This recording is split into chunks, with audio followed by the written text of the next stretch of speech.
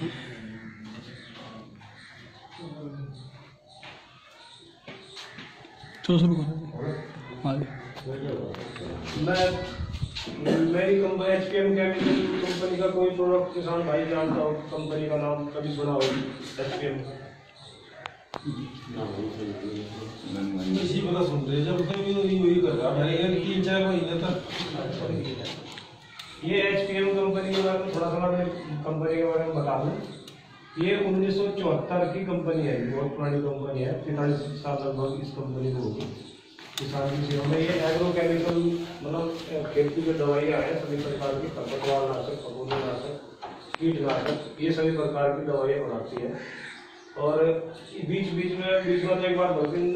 B वगैरह urea भी हमने स्टार्ट करा था तो वो फिर बीच में बंद करना